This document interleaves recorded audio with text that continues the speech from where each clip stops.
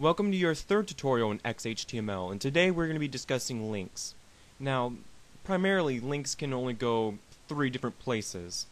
Either somewhere on the page you are currently on, somewhere a- another web page within your the same website, or to a different website entirely. So, let's figure out how to make links.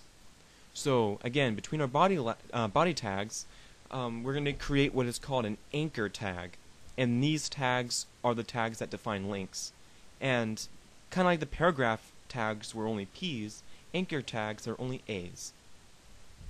So I'll type that out.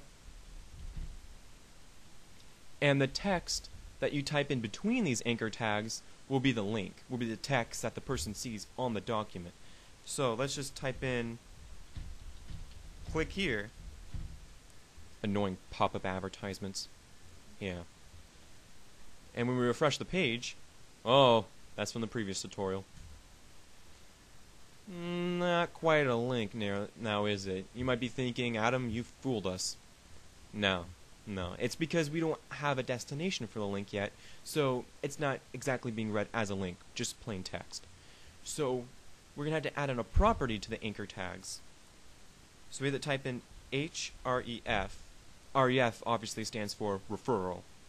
So we click in equals, two quotes. Let's do something pretty obvious. Let's go http www.google.com. Let's see what happens with that. Press F5. Oh, look, it's now underlined. We click it, and now we're at Google. Pretty cool, right? So go back and head back to our original document. Now, you might be thinking, well, maybe I want it to open into a new window or a new tab. If you're, this next technique that I'm going to show you, if you're using Internet Explorer, it's going to open in a new window. As I understand, I don't really use Internet Explorer. and if you're using Firefox, it'll open it up in a, a new tab. So, we're going to type in target, this is a different property, equals, then two quotes, underscore blank. They're going to save that. Now, normally, if you wanted, if this opened in the same page, you could uh, click Control, hold Control, and then click, and now open it into a new tab. But why put the user to the um, uh, into the agony of having to do that when you can just click? Oh, that didn't work. Did I misspell this?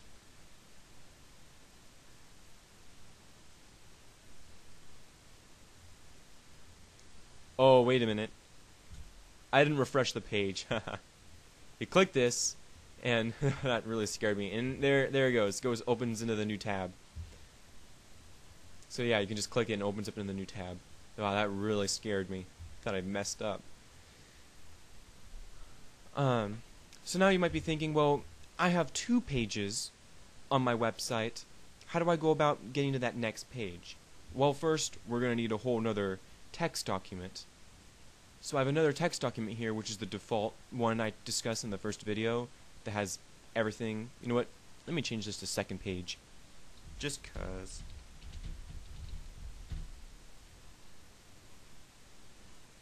Um, so how do we get to this page? Well, first let's give it uh, something so we know we're on the next page.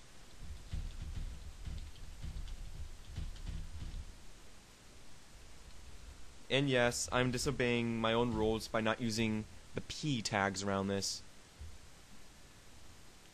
So how do we get to that next page? Well, we look at the name of the file, foo.html, and when the href, we type in foo.html.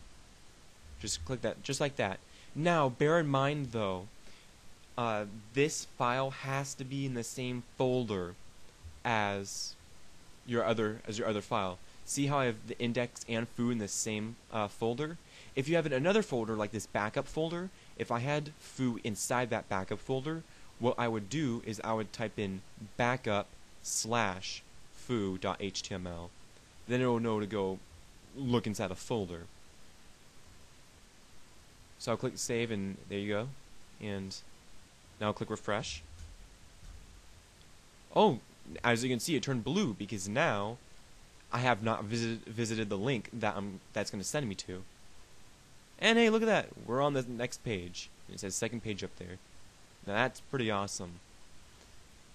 So, how do I get it to move somewhere else on the same page that I'm on? Well, this is going to be a, a little tricky because, first of all, I need the page to be able to scroll. So this is going to be a little time consuming. Let's see. So I'll type in P, P. You know what? I'm going to make them H1s because that'll make it go by faster if, they're, if it's a bunch of giant text. Text. Oh. Oh, jeez. There we go. So just copy and paste, paste, paste, paste. Well, let's see how it turns out. Oh, not enough. Well, let's paste a few. You know what? Yeah, yeah, that's right. That's gonna that's gonna save us some time. Now that we have a whole bunch, oh, you can't even see the bottom of the browser. Whoops. There you go. And as you can see, just go, go, go, go, go. So, what we could do with this, maybe we want to make it so that when we reach the bottom of the page, we want to go back to the top. So what we what we could do is create another anchor tag here. And not and do not put any text between these two two tags. Instead, create a property within the first tag and call it name. Name equals quote quote. And let's call it top. Now let's copy this, or I'm going to cut it, Control X, and bring it to the bottom. Now what you do is that you use the pound symbol and then put the name of the link in front of it, the name of the other link that you want to go back to. And this will tell you that it's going to find something with this name and go back up there. But you know what? I should probably get rid of this. Otherwise, well, we might have a problem. Might not work the way we want it to. So, let me change this to top. Now when I press F5, now it's down here. And when I click top, oh, I jump back to the top. Of course, you can't really tell.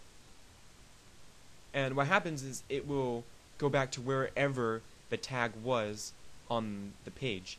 So if I, let me change this text, this word text here to here, so there's a bit of a difference on all this. And I'll move this tag